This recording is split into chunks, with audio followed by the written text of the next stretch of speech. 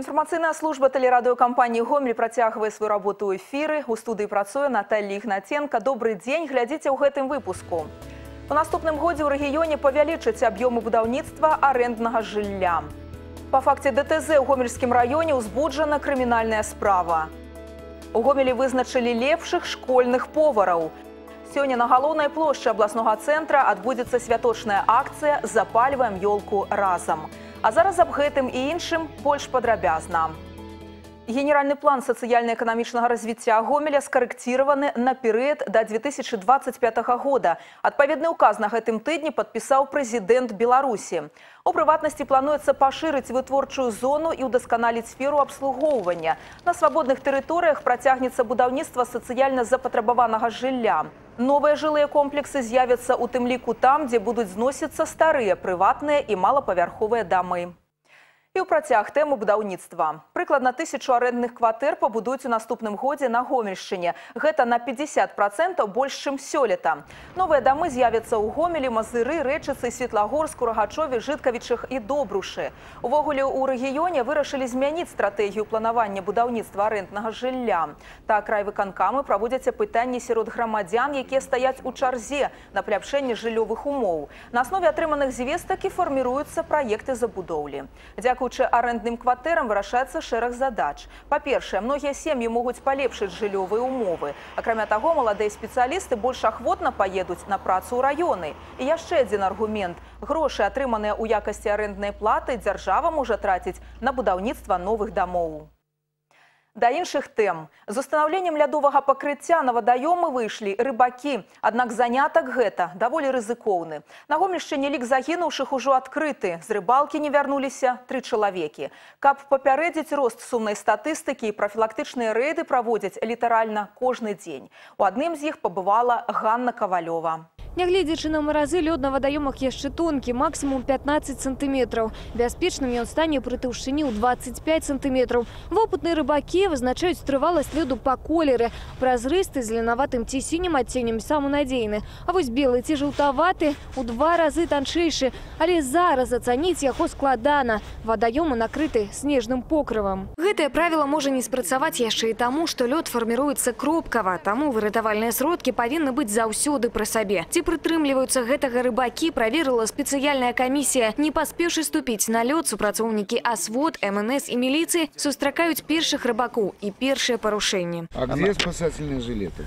А вот жилеты обязательно... В машине он не должен быть. Вы идете на лед, тем Ну, более идете на все, лед. Где учтем, этого спасательные больше жилеты? не будет. Наступны сустрэчны і зноў без камізэлькі. З кожным такім рыбаком выратавальнікі праводзяць размовы і ўручаюць памяткі з правіламі бяспекі. Сярод іх не збірацца на льду группамі, трымаць дыстанцыю і сцерагчыся незамерзлых лунак. При выходе на лед мы, конечно, рекомендуем рыбакам в первую очередь это спасательный жилет. Потому что спасательный жилет, он всегда поможет удержаться на воде какое-то время и до прихода помощи. Второе, что мы рекомендуем постоянно, это иметь веревку 15 метров, где-то может быть 15-20 метров, с э, грузом на другом конце петлей завязывается сюда. З 30 чалавек на заліве ракі Сош толькі адзін у выратавальнай камізэльцы, рыбак з вялікім стажам і пры гэтым адзіная жанчына на лёдзе Наталья Губская. Кажа, прытрымлівацца правілаў бяспекі навучыў вопыт. 8 марта уже был лед шипел. Мужчина подошел ко мне, короче, дедулька, 73 года ему, подарил мне такую коробочку, там эти поплавки. И пошел туда, вот это место. И, короче, под берегом, а там метров пять. Бегали мы, И ой-ой-ой, Не, не знали, что делать, так? спасли, спасли, вытянули, он Это- бедненький уже не шевелился. Это хорошо, вы были вместе, а если был один человек, вот Да. вы одна идете, да?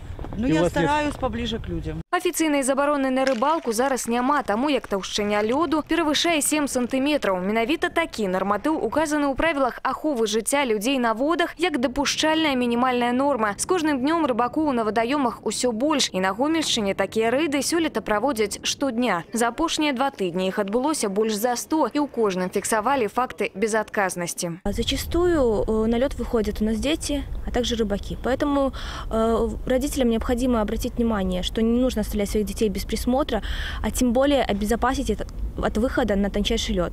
Рыбакам, э, конечно же, запретить выход на лед мы им не можем, запретить зимнюю рыбалку. Поэтому в первую очередь э, им нужно помнить, что их дома ждут близкие. Ганна Ковалёва, Валерий Гапанько, телерадиокомпания «Гомель». Сур'ёзнае ДТЗ под Гомелем. Авария адбылася напярэдадні на трасе М5 Гомель-Мінск. Легкавы Мерседес рухаўся ў бок Гомеля. Неподалеку ад аграгарадка Урыцкая аўтамабіль урэзаўся ў агароджу раздзяляльнай полосы. В результате ДТП водитель погиб на месте происшествия, а ехавший в качестве пассажира на заднем сидении автомобиля ребенок 8 лет э, с тяжелыми травмами доставлен в больницу. По данному факту возбуждено уголовное дело по части 2 статьи 317 проводится проверка.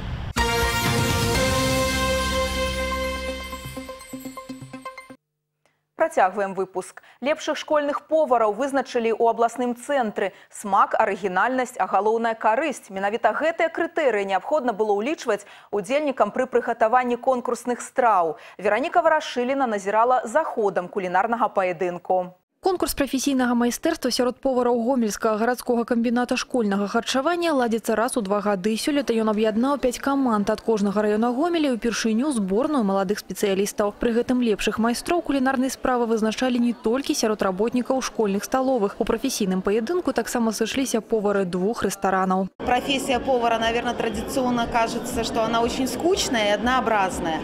И мы своим конкурсом хотим доказать, что на самом деле это искусство.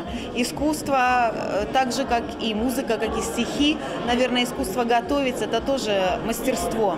На конкурсных столах салаты, мясные вырабы и нават суши. Не забыли и про любимые прысмакі дзяцей – булачкі, печыва і пірожныя. Гомельскі гарадскі камбінат школьнага харчавання абслугоўвае 94 установ адукацыі. Прафесійнае спаборніцтва дазваляе работнікам сталовых прадэманстраваць шэраг абсалютна новых, крэатыўных і абавязкова карысных страў, якія могуць быць уведзены ў школьны рацыён. Например, вот творог, розочки из творога, печенье, котлеты крабик. Туда вот входят крабовые палочки или мясо, свинина. Панируется котлета, обжаривается, доводится в жарочном шкафу. Оно и вкусно, и полезно детям. Прэзентацыя страў каманд удзельніц ацэньвалася па некалькіх крытэрыях. Гэта захаванне тэхналогіі прыгатавання, санітарных норм і правілаў, наяўнасць тэхналагічнай карты, смакавыя якасці, арыгінальнасць афармлення і падачы блюд. Ацэнкі канкурсантаў выставляла прафесійнае журы і незалежныя эксперты з ліку навучэнцаў гомельскіх школ. Дарэчы, сярод галоўных прапаноў падлеткаў прыгожы знешні выгляд страў ім хацелася б бачыць і ў сваіх школьных сталовых. Из-за того, что маленькое количество времени, нужно очень много чего накрыть, много, много классов, не успевают как-то красиво оформить и так далее. А от этого даже вкус, мне кажется, улучшится. Да, было бы очень даже неплохо, даже если бы эту гречку с каким-то мясом и салатиком оформили как-то красивенько. Все же было бы приятнее Обычно бы кушать. травку наверх положили, казалось бы, много гармоничнее, чем есть. Па выніках спаборніцтва на трэцім месцы аказалася каманда цэнтральнага раёна, на другім чыгуначнага. На першую пераможную прыступку п'едэсталу знялася каманда повараў Новабелецкага раёна, якая падзялілася з намі сакрэтам свайго кулінарнага поспеху. Прежде чем что-то э, приготовить, прод- э, продумать стол, мы с коллегами советовались и решили, что все-таки самое важное – это здоровье, это детское питание, чтобы оно было здоровым, сбалансированным, удобным, красивым, чтобы детям нравилось. Мы за это, поэтому мы выбрали такую яркую цветовую детскую тематику, э, преподнесли ее нашим судьям. Э, понравилось, удалось, мы довольны. Пасля заканчэння конкурсу ўсе прысутныя змаглі паспрабаваць прыгатаваныя стравы. Вераніка Варашыліна, Ігор Марышчанка, тэлерадыёкампанія «Гомель». Сёння ў 17 гадзін на галоўнай плошчы Гомеля адбудзецца святочная акцыя «Запальваем ёлку разам». Традыцыйная яна будзе суправаджацца яскравым шоу з удзелам Дзеда Мароза і Снягуркі, а таксама сімвалам надыходзячага года вогненнага пеўня. Сёлета галоўная ёлка в области мае вышыню больш як 30 метраў і зманціравана з 2000 штучных галін. Яе ўпрыгожваннем сталі 60 святлодыёдных гірляндаў і віфлеемская зорка. На плошчы таксама зманціраваны дзіцячы казачны гарадок, рэзідэнцыя Дзеда Мароза і гандлёвыя рады для рамеснікаў і прадпрыемстваў абласнога цэнтра. У праграме сённяшняга свята музычныя і харэаграфічныя нумары у выкананні творчых калектываў і артыстаў Гомеля, а таксама масавы маладзёжны флэш-моб, у якім прымуць удзел больш як 500 чалавек. Это новогодний флешмоб. Собираются студенты шести наших высших учебных заведений. Они вот таким э, музыкальным поздравлением хореографическим поздравят всех гостей и жителей города Гомеля с наступающим Новым годом и с уходящим годом культуры. Гэтыя, а таксама іншыя навіны вы можете знайсці на нашым сайце ў інтэрнэце па адрасе трайное даблы.цівяргумел.бівай. На гэтым выпуск завершаны ў студыі працавала Наталья Ігнаценка. Я і мои калегі жадаем вам удалага дня. Да новых сустрэч у эфіры.